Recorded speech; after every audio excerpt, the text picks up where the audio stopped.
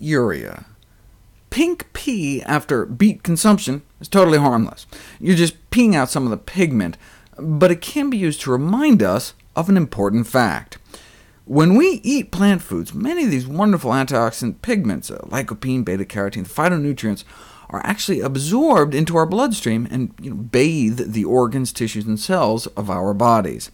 You know, there's no direct connection between our gut and our bladder. Right? The only way these beet pigments are finding their way into our urine is by being absorbed through our gut into our bloodstream, and then circulating throughout our entire body before eventually being filtered out by the kidneys. Right? Our blood for a time is a little pinker too.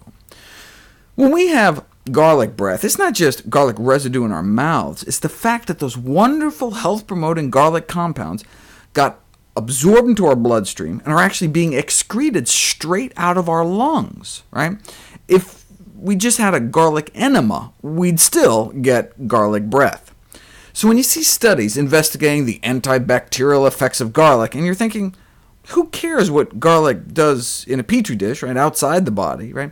That's why we care, because it does circulate throughout our body. That's why garlic has been found useful as an adjunct treatment for pneumonia in critical cases. Right? It's excreted from our lungs to get that garlic breath and can you know, wipe out bacteria on the way out.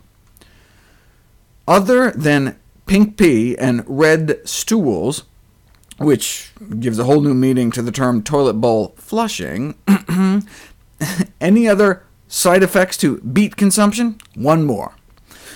Should you get run over while you're out biking on beets, on autopsy you might amuse your pathologist. The case of the purple colon.